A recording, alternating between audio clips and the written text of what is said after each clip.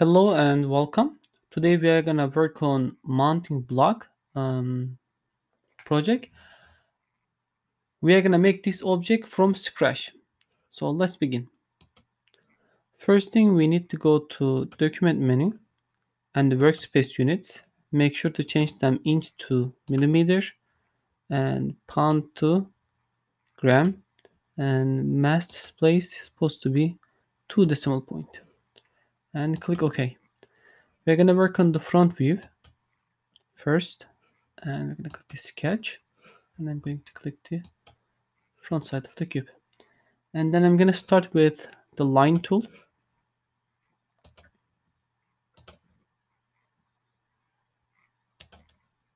I'm gonna just making the lines I will add the dimensions later. Okay I'm gonna use the dimension tool and this part is going to be 50 this part 40 meter 20 millimeter and finally this part is going to be 75 millimeter so the the sketch turns to black. It means it is fully constrained. So click the yellow icon and click the extrude. Choose the sketch and the depth is going to be 125 millimeter extrude. Click ok. And let me check it. So the first part is completed. Now i'm gonna start to make the um the hole on the top. I'm gonna use the circle for that. So first thing i'm gonna click the top view i'm gonna click the sketch and since i'm working on the top i'm gonna click the top of the cube I'm going to use the circle, center point circle. I'm going to make a circle on the top. And let's use the dimension tool. The diameter of the circle is 20 millimeter. And let's constrain them. So the height from that point is 25 millimeter. And the length is 20 millimeter. And it turns the color turns to black. So, and sketch. Click the extrude. Choose the circle and click the remove. Instead of blind, we're going to change it to through all. Even though you change the uh, dimensions of the depth or the width of the object, this hole always will go through hole. Completed click to isometric. So we have the here. So that's our circle hole that goes all the way. That cylinder. Now we are going to use the chamfer. I'm going to click the chamfer. And then i'm going to just choose don't choose all of them just choose the top part. Okay and then instead of equal distance we're going to change it then distance and angle. It's going to be 5 millimeter 5 millimeter and 45 degrees. And click ok. That's completed. Now we're gonna work again on the top view. I'm gonna click the top. I'm gonna click the sketch. And i'm going to click the top view and as you can see each time when i click the sketch we have the different sketches. So i'm working on the sketch 3 now. I'm gonna use corner rectangle. I'm gonna start from the corner of here. Right. And let's make a rectangle. Then I'm gonna dimension it. This side is going to be 75 millimeter top length is supposed to be 20 millimeters.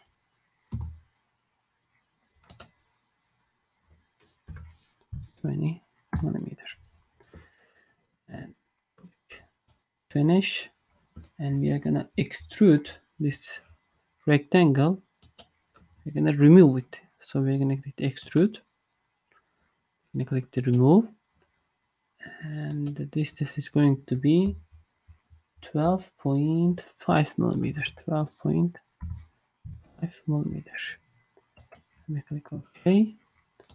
And the isometric view, right, it is removed. Now this corner, we are gonna use the fillet for this corner. So I'm gonna click the fillet. I'm gonna click the right mouse and I'm gonna rotate it around it and just zoom and choose the corner. It's going to be 12.5, 12.5 millimeters. Say okay. Right, this part also is completed. So what is left? So we're gonna work on now on the top view again, and we are gonna make a shape that's going to be a little bit different. So I'm gonna click the top view. I'm gonna click the sketch. I'm gonna click the top. So just move our object and a little bit zoom. I'm gonna start with line tool and I'm gonna just line it here. Right here and here. Okay so I'm gonna just zoom in. The first thing I want I'm gonna click the escape tool I'm gonna use some geometric constraints. So first one is the constant. So I'm gonna click the this line. I want them to coincident with this one I thought it was coincident but it's not. So when I click now boom that's coincident I want these two line equal each other. So I'm going to click here and this line now they are equal. And then I'm to use tangent arc. And when I click the here starting and right I have the arc now. And uh, on the dimensions it says the radius of this arc is 12.5 12.5 millimeter. And the height the starting point of this arc is 15 millimeter I'm gonna click the escape. Now I make this object but I need to put one more dimension so I cannot move this object around it. Okay. So I'm gonna use something different now. I can put the dimension from the top to uh, here. That's the one way but instead I want them always um, center. So to be able to do that I'm gonna click the line tool and I'm gonna click the construction and I need to find the center of this. Okay.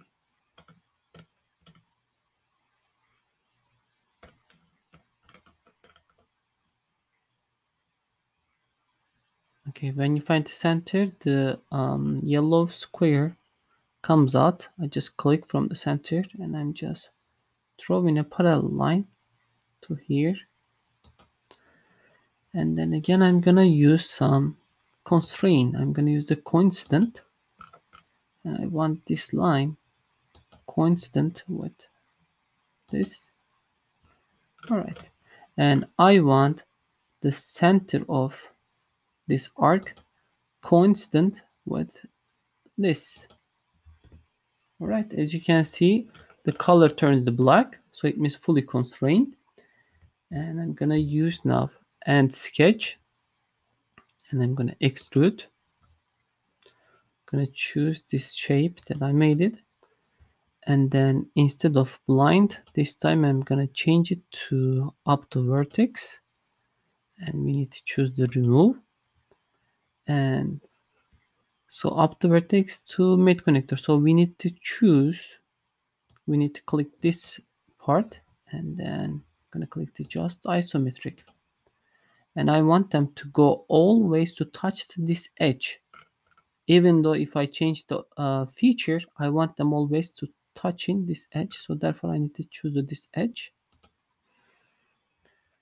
Boom. And when I click the and so it is completed. So the last part, we're gonna fillet these edges. So I'm gonna click the fillet. I'm gonna choose the corners. That's the first one. That's the second. This is the third. And I'm gonna move around and choose the last corner. That's the fourth. And the radius of the fillet is going to be 12.5. 12.5 millimeter. All right, it is, I believe, completed. When I click the isometric view, okay, it seems it is completed. Now I'm gonna assign the material. So I'm gonna click the part, left click, and the, it choose all the part and the right click. I'm gonna click the assign material and I'm gonna choose the instead of none, I'm gonna choose the carbon steel. Click OK. It is completed. So when we check it, that's the expected and this is the completed one. And when you click the display mass properties and when you click the part one, and if you see the mass of the object is 28.02.86 gram and the shape is like that, it means it is correct. Have a wonderful day.